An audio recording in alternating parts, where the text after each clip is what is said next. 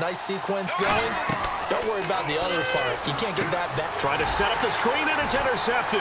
A great read, and it's picked off. And he will bring it back. It's a pick six and a Giants touchdown.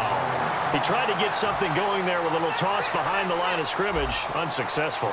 How about the athleticism of the coverage, though? Being able to dance with him coming out of the backfield.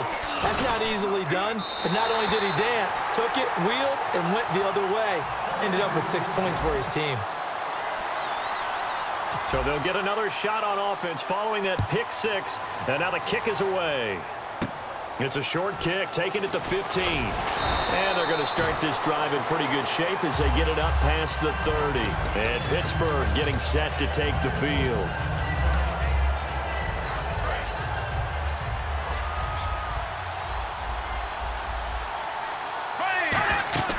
Now Bortles to try again after the pick six.